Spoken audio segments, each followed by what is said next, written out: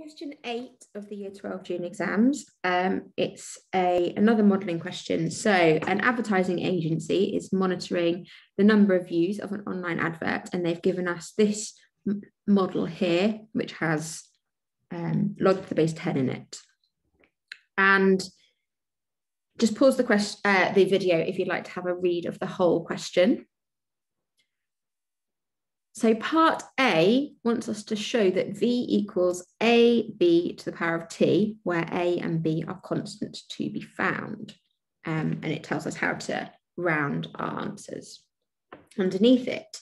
So we need to rearrange this to have that V as the subject. So it's going to involve us taking um, like rearranging and understanding what a log is. So log to the base 10, we're going to want to take 10 to the power of both sides. So the key to all of this is remembering that log to the base a of b equals c. The relationship between a, b, and c is that a to the power of c equals b. So that means that 10 to the power of all of this equals V. So 10 to the power of 0.072t plus 2.379 equals V. Now we can use our index laws here and split these two things up. So 10 to the power of all of this is equal to 10 to the power of 0.072t multiplied by 10 to the power of 2.379. So let's go for that bit. Oh, I've missed a zero out. There we go.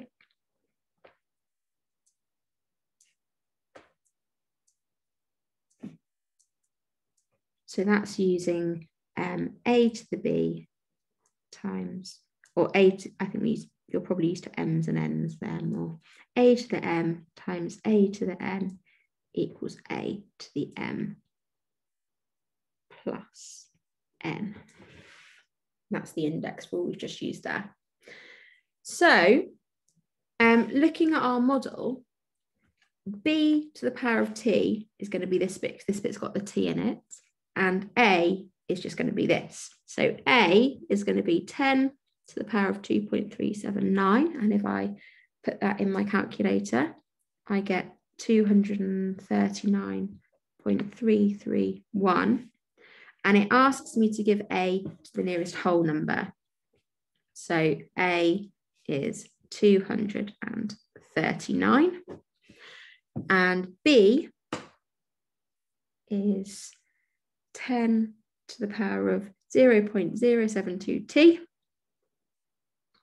So um, 10 to the power of 0.072 is 1.18, and that's to um, three significant figures as required. So it'd be that to the power of t.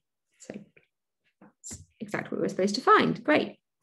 Part B um, says interpret with reference to the model the value of AB. So AB is going to be um, would be when t is equal one.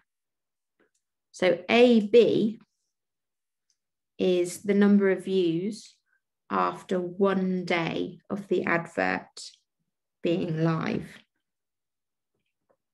So AB is the number